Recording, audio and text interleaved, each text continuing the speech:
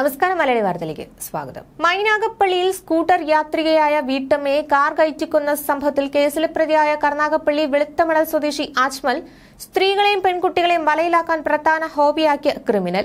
Kayamkulam M S M കോളേജിലെ ബിരുദ പഠനം പൂർത്തിയാക്കാതെ ഉപേക്ഷിച്ചു. ഇടക്കാലത്ത് സിനിമാ മോഹവുമായി എറണാകുളത്തേക്ക് പോയി. മാസങ്ങളോളം അവിടെ ചുറ്റിയടിച്ച ശേഷം വാടകയ്ക്കെടുത്ത കാറുമായി മുങ്ങി.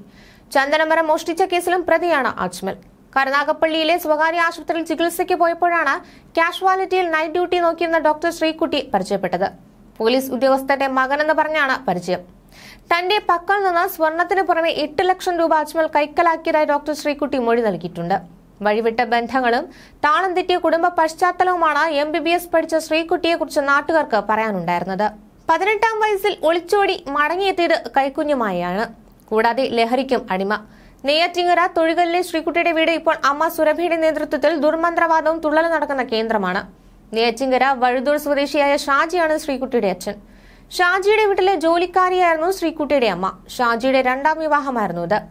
ഷാജിയുടെ ശരവണ മൊബൈൽസ് എന്ന സ്ഥാപനത്തിലെ പണവുമായാണ് വീട്ടിലെ കാർ ഡ്രൈവറും കുതിരയുടെ ട്രെയിനറുമായിരുന്ന യുവാവിനൊപ്പം ശ്രീകുട്ടി ഒളിച്ചോടി ചെന്നൈയിലേക്ക് പോയത്. അധികം വൈകാതെ കൈക്കുഞ്ഞുമായി മടങ്ങിയെത്തി. തുടർന്ന് കോയമ്പത്തൂരിൽ പോയി എം ബി ബി എസ് പഠിച്ചു. ഉന്നത വിദ്യാഭ്യാസം നേടിയെങ്കിലും മുന്നോട്ടുള്ളത് നേർവഴിയായിരുന്നില്ല. മുൻകാല സൗഹൃദങ്ങളും നല്ലതായിരുന്നില്ല. ഇതിനിടെ വിവാഹം കഴിഞ്ഞുവെങ്കിലും അതും വേർപിരിഞ്ഞു. ഒരു വർഷം മുമ്പാണ് കരുനാഗപ്പള്ളിയിലെ സ്വകാര്യ ആശുപത്രിയിൽ ഗൈനക്കോളജി വിഭാഗത്തിൽ ഡോക്ടറായത്. അവിടെ റെയിൽവേ സ്റ്റേഷന് സമീപം വാടക വീട്ടിൽ താമസമാക്കി. ഒരു മാസം മുമ്പ് കരുനാഗപ്പള്ളിയിലെ സ്വകാര്യ ആശുപത്രിയിൽ അത്യാഹിത വിഭാഗത്തിൽ എത്തിയപ്പോഴായിരുന്നു ഡോക്ടർ ശ്രീകുട്ടി പരിചയമാകുന്നത്. ശ്രീകുട്ടി ഒരു വർഷത്തോളമായി ഇവിടെ ജോലി ചെയ്തു വരികയായിരുന്നു. പിന്നീട് ഈ സൗഹൃദം വളരുകയായിരുന്നെന്ന് പോലീസ് പറഞ്ഞു. കരുനാഗപ്പള്ളി റെയിൽവേ സ്റ്റേഷന് സമീപത്തെ വാടക വീട്ടിലായിരുന്നു ശ്രീകുട്ടിയുടെ താമസം.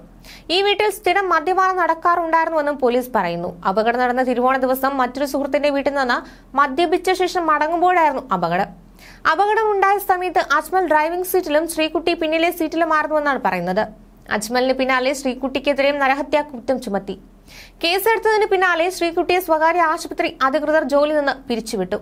അജ്മലും സ്ഥിരം കുറ്റവാളിയായിരുന്നെന്ന് പോലീസ് പറയുന്നു.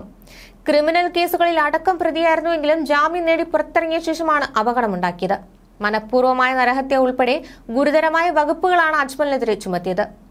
നീചമായ കുറ്റകൃത്യമായി കണക്കാക്കി പരമാവധി ശിക്ഷ ലഭ്യമാക്കാനുള്ള തീവ്ര ശ്രമത്തിലാണ് ശാസ്താംകോട്ട പോലീസ്. അജ്മൽ മദ്യപിച്ചിട്ടുണ്ടെന്ന് അറസ്റ്റ് ചെയ്തപ്പോൾ വൈദ്യപരിശോധനയിൽ വ്യക്തമായിരുന്നു. അയാളുടെ മേൽ ബോധപൂർവമായ നരഹത്യാ കുറ്റവും ഡോക്ടർ ശ്രീകുട്ടിക്കെതിരെ പ്രേരണാ കുറ്റവുമാണ് ചുമത്തിയിട്ടുള്ളത്. കടയിൽ നിന്ന് സാധനം വാങ്ങി സ്കൂട്ടറിൽ മറുഭാഗത്തേക്ക് കടക്കുന്നതിനിടെ ദിശ തെറ്റി അമിത വേഗതയിൽ വന്ന കാർ ഇടിച്ചുണ്ടായ അപകടത്തിലാണ് കുഞ്ഞുമോൾ മരിച്ചത്. താഴെ വീണ കുഞ്ഞുമോളുടെ നെഞ്ചിലൂടെ കാർ രണ്ടു തവണ കയറ്റിയിറക്കിയതാണ് മരണകാരണം. അജ്മലിനും ഡോക്ടർ ശ്രീകുട്ടിക്കും പരമാവധി ശിക്ഷ ഉറപ്പുവരുത്താൻ പോലീസിന്റെ ഭാഗത്തുനിന്ന് ശ്രമമുണ്ടാകണമെന്ന് കുഞ്ഞുമോളുടെ ഭർത്താവ് നൌഷാദ് മക്കളായ സോഫിയ അൽഫിയ എന്നിവർ ഉയർന്ന പോലീസ് ഉദ്യോഗസ്ഥരോട് ആവശ്യപ്പെട്ടിരുന്നു. ചൊവ്വാഴ്ച ഉദ്യോഗസ്ഥർ കുഞ്ഞുമോളുടെ വീട്ടിലെത്തി കൂടുതൽ വിവരങ്ങൾ ശേഖരിച്ചു. റൂറൽ എസ് പി നേരിട്ടാണ് അന്വേഷണ പുരോഗതി വിലയിരുത്തുന്നത്. ഇടിച്ച കാർ ശാസ്താംകോട്ട പോലീസ് കസ്റ്റഡിയിലാണ്. തിങ്കളാഴ്ച ഫോറൻസിക് സംഘമെത്തി കാർ പരിശോധിച്ചു. റിപ്പോർട്ട് ലഭിക്കുന്ന മുറയ്ക്ക് കാർ കോടതിക്ക് കൈമാറും. ശ്രീകുട്ടിയുടെ രക്തപരിശോധനയും നടത്തും. അജ്മൽ വിവിധ കേസുകളിൽ പ്രതിയായതിനാൽ കാറിന്റെ ഉടമയെ സംബന്ധിച്ചും പോലീസ് വിശദമായി അന്വേഷണം നടത്തുന്നുണ്ട്. അജ്മലിന്റെ ലൈസൻസ് റദ്ദു ചെയ്യുന്നതിന് കുന്നത്തൂർ ആർ ടി ഓഫീസും നടപടി തുടങ്ങി. വനിതാ ഡോക്ടറുടെ രക്തസാമ്പിൾ ബുധനാഴ്ച പരിശോധനയ്ക്ക് അയക്കും. ഫലം ലഭിക്കുന്ന മുറയ്ക്ക് തുടർ നടപടികളിലേക്ക് കടക്കുമെന്നാണ് പോലീസ് നൽകുന്ന വിവരം. അവരെ ആശുപത്രി ജോലിയിൽ നിന്ന് കഴിഞ്ഞ ദിവസം പുറത്താക്കിയിരുന്നു. അജ്മലിന്റെ പേരിൽ കരുനാഗപ്പള്ളി സ്റ്റേഷൻ പരിധിയിലുള്ള കേസുകളെ വിവരങ്ങളും പോലീസ് ശേഖരിക്കുന്നുണ്ടെന്നാണ് വിവരം.